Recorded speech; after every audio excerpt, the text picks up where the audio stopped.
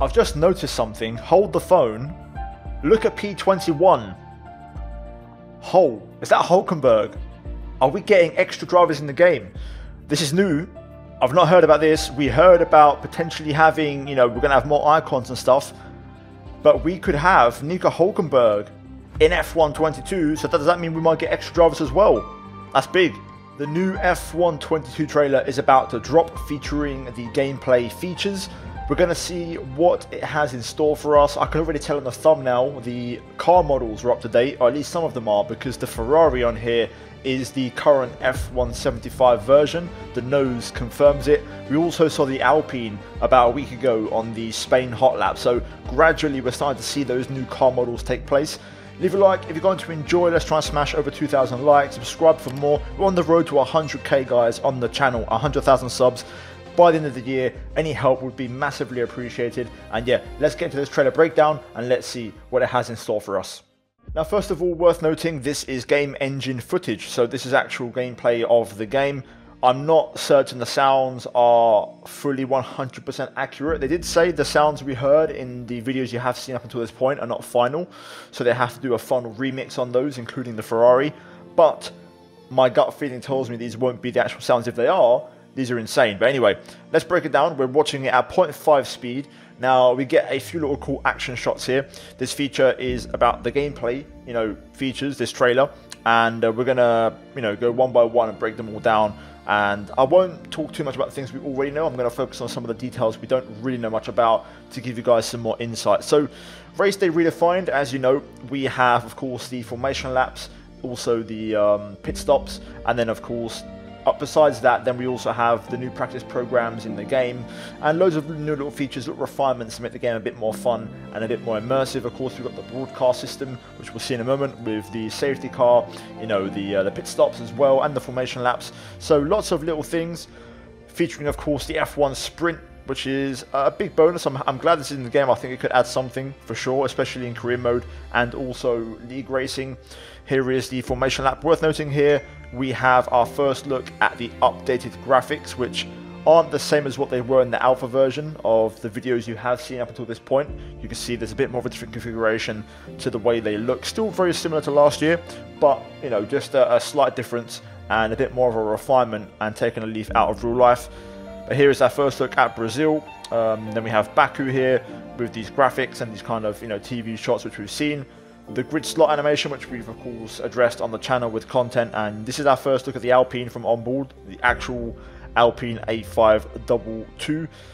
Pit stops, again, more immersive broadcast, we've seen that. First look at the actual proper OSD overlays, by the way, in the top left you can see here, again, taking inspiration from real life, so not just the broadcast graphics, but these have been refined a little bit compared to the alpha version that we had, so good to see that they're still you know, working on things and making sure everything's on point. This is a big one. First time we spoke about this. I was going to make a video tomorrow about this, but pit stop errors are in the game. I do have a secondary thing to talk about, which I'll save for that video that goes hand in hand with this, but this can be avoided. So, a new feature on the game, very, very exciting to see this happen, and I believe this can happen to the AI as well, not just yourself. So, big fan of that. As you can see, the mechanic, they're struggling to get the, the, the front left tyre off first look at the safety car, we then get the Im immersive broadcast system, which of course we've seen on the channel before. Here we have another shot at the new graphics you can see in the top left. I actually quite like it to be fair. Um, quite simplified and in many ways I, I think I prefer it to real life. I find the real life ones a bit clunky personally so I actually don't mind these too much. First look at Paul Ricard as you can see in the background here. Then we get to Singapore. Up next what is going to be the next feature. We have the practice programs, right, so let's talk about this a little bit because this was mentioned in a brief a couple of weeks ago. So we have some refined practice programs and it also features some AR systems. So essentially, um, this one I believe is the one you go through the gates like you always have done traditionally. But this one, this is new. So they have been refined where you're now going to have this kind of you know, let's say, way of monitoring your progress in the middle of the screen. And obviously, if you go, you know, good or bad, it's going to go towards purple, which is good, or red, which isn't very great. You've got your target in the top right. So this is very interesting, uh, definitely new and something different with the game. As you can see, we've got the same concept applied to different programs. In this case, this is the tyre wear program, it seems like. So good to see we have that kind of carryover. Adaptive AI, which we've spoken about before, um, I believe this uh, comes into effect when you race on 99 or lower. So that's when the adaptive AI will kick in, and not when it's 100 or 100, 110. So um, yeah, bear that in mind. Race style, which again we've spoken about before, casual, standard, expert. No real surprises here. I mean, if you've played the F1 game quite a bit, you're going to be an expert or standard. Casual, of course, for you guys who are new to the game, and haven't played it before, that's where you want to be. And depending on which one you select, you'll get a, a, you know an array of options in terms of what you can select. First look at circuit updates, Abu Dhabi. Let's quickly pull that back. Of course, we saw some screenshots the other day get released, but here's our first look at the modified Abu Dhabi. After that, we have an onboard of the Alpine, nice little shot of the Williams there. Australia, of course, the new turn 6, which I can't wait to be fair to drive on the game. I'm really excited about that one. Uh, Australia, then we go to Spain, the new turn 10, of course, a bit more brutal action. And of course, Miami, which is a new circuit in the game, which we've done a 100% race on. If you haven't seen it, link up in the top right. Now then, after this, we're going to jump into the next section. And by the way, keep your eyes peeled for the actual updated car models. F1 Life. Now this is big. And it starts off with a Mercedes here, which is essentially the safety car, but obviously without the, the safety car livery on it, which you can drive in game. As you can see, we've got an Aston Martin here, drifting its way through Baku. That's uh, a, a, McLaren, looking at the wheel rim, Ferrari. So we're getting a, you know, an, an array of cars. As you can see, this right here is the big one. So I haven't spoken about F1 Life on the channel yet, so let's talk about it. As you can see, this is essentially a, a main menu or like a loading screen. So, for example, if you are in an online lobby, this could be the background setting for the lobby. So, for example, these could be four different players in a lobby waiting to start a race, and the more people you have, the more crowded the room is going to get.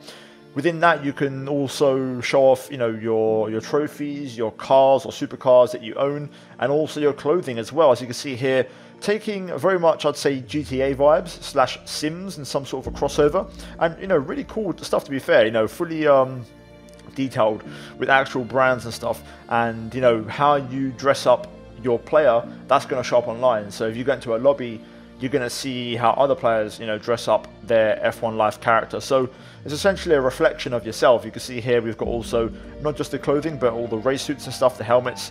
This could well be the starter items for my team, so uh, keep an eye on these. It looks like uh, these are the baseline versions, so uh, good to see. We've got a few options there, not as many as I would have liked, but still same as the last few years. And yeah, here, here you have basically the customization, so you can see just here you can kind of run through you know different points, different things you want to change: helmet, gloves, suits, hats, uh, clothing, shoes, celebrations, radio. This is going to be the new kind of you know main menu basically, which I really like. It adds a bit more of a human feel. You can see you can customize your lounge per se, which is what's going to be shown off publicly. Your art as well, and you can see here just adding more depth and detail. Of course, the supercars. You can see here we've got Bay 1, Bay 3, Bay 2. Uh, not fully sure how that is, but in this case we have a safety car here, which you can play in game. You can drive it in time trial, I believe. So yeah, really cool to see you can actually drive the safety cars, both safety cars this year, the Aston Martin as well. There is another Mercedes you can see here, just getting some bit more depth really into these supercars and the kind of environments you're going to have in game. And then the trophy cabinet, which I like because on F1 2021 and 2020 you could win trophies, championships, and you'd win them and get an email and that's it at least now we can actually see them. They're, they're going to be visually present, which is great. So a big fan of this, as it's a bit throwback really to F1 2006 and stuff like that, where you had a trophy cabinet back in the day. So yeah, like that. Big details, but they go a long way. Enhancements. So my team, this is a, a big one. I might do a separate video on this at some point, but you can see here we get our first look at the new menus here with the new car in the background. Definitely a new livery, which is good to see. And we've got a few you know, let's say changes to the department events. That's a big thing this year, which I'll mention in a future video. But you can see we've got a bit more of a different layout, and the consequences of how these work are going to be different this year. So there's going to be a bit more to it and a bit more depth. And all of this stuff in my team, by the way, carries over to co-op or two-player career. So if you have any questions about that, bear that in mind. All of the my team stuff will carry over to two-player career. Here we get a bit more of the new kind of animations the celebrations. I'm going to pause it here real quick because we might get to see some of the new uh, models. I haven't seen the Mercedes yet as a final. I'm yet to see that one. That's the only car that I don't think they've done yet. Red Bull as well, I believe. After that, Ferrari is done. I've seen that. The McLaren in this particular one is a final model.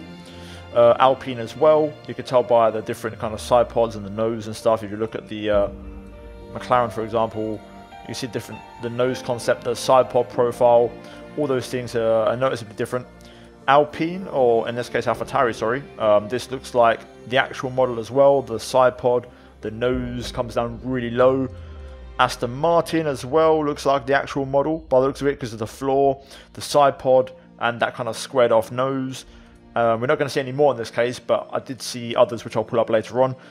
Worth noting here we have the same components as always with um, the gearbox now moved to the main page which is good to see which is a bit more you know logical, a bit more efficient which I like so all these components can now be managed on the main page and you have four gearboxes this year to choose from so good to see that on the uh, the engine side of things. Then we have single and two player career contract negotiations which you know hasn't really changed much to be fair same old story there really. Um, will say actually is we might get an early preview at the performance chart, which this is what they have, it looks like for now. This could change, of course, closer to launch, but seems about right. This has definitely been updated. You know, Alfa Romeo full fastest with Bottas, Alpine up there as well. I don't mind this. I think they've definitely based this off Bahrain because McLaren have taken a step forward since.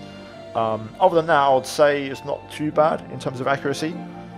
But let's keep rolling on then. So we've got uh, all the little circuits here. You can see um, Singapore, as we run through the final details. So split screen, multiplayer, back again, of course, two player career as well, as I mentioned earlier on. So all those gameplay features are there in the game this year. and back again. And then I think we're pretty much done with this trailer F2 as well. If you guys are keen on that, I haven't really done much to be fair on last year's game, but good to see F2 always in the game. Extra content doesn't do any harm. As we don't have classic cars this year, by the way, so you know this is probably the best you're going to get. I think that's pretty much it at this point. Yeah, that's it. So we just get a shot of Miami, a shot of the Ferrari, really nice actually, you know, detailed shot there of uh, Jeddah with some racing action. There's Hungary with the updated Haas. And yeah, pretty much back to the beginning with Austria. And that's it, job done. Decent trailer, a lot to unpack, and a few more details I'd like to talk about further down the line. So uh, I'm just going to quickly pull up a few still frames here and show you the updated cars when I get a chance.